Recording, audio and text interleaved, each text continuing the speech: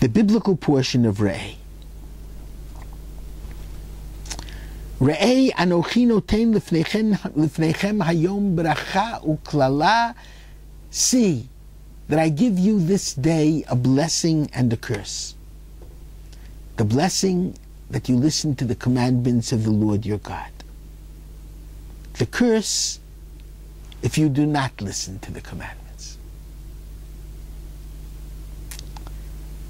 What's the blessing and what's the curse? How can I put it to you? As simply as I can and in a way that you will not forget it.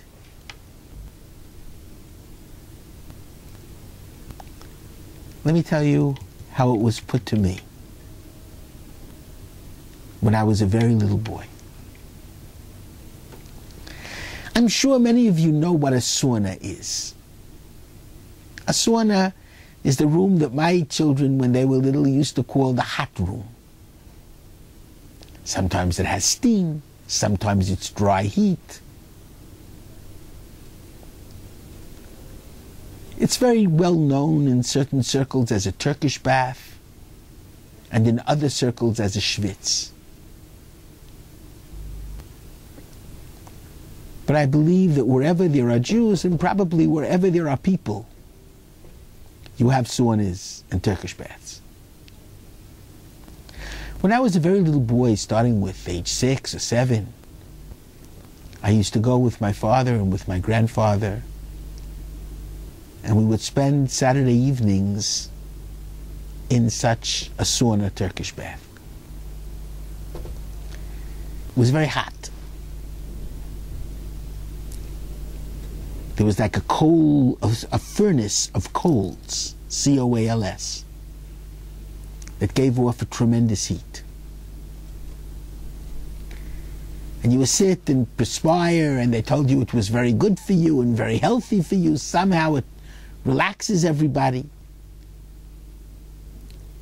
And I remember my grandfather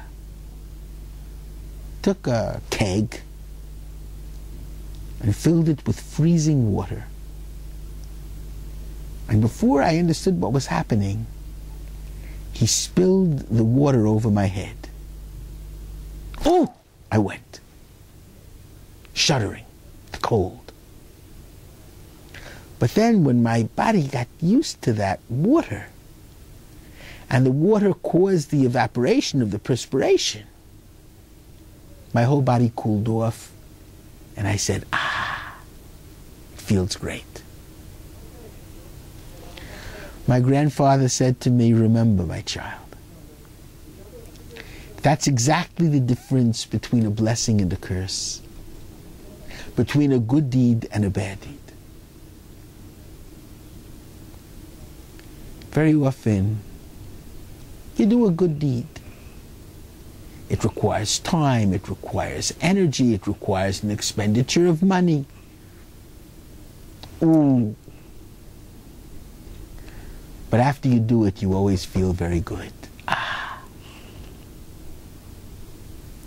A bad deed. An ice cream cone after you've just had a steak dinner. You see the cone. You're a bit thirsty. You'd love to have something sweet and cold. You reach out for the ice cream. Ah but after you eat it, and you realize you went against the biblical law of not boiling a kid in its mother's milk, eating meat and milk close to each other. Ooh, what did I do? And sometimes it'll even give you a stomachache. My grandfather said to me with a smile, My beloved grandson, all of life is the difference between the u and the ah. Make sure whatever you do, after you do it, you say ah. God forbid that after you do it, you should have to say ooh. If after you do everything that you do, you can truly say ah, then you will truly live a blessed life. Shabbat Shalom.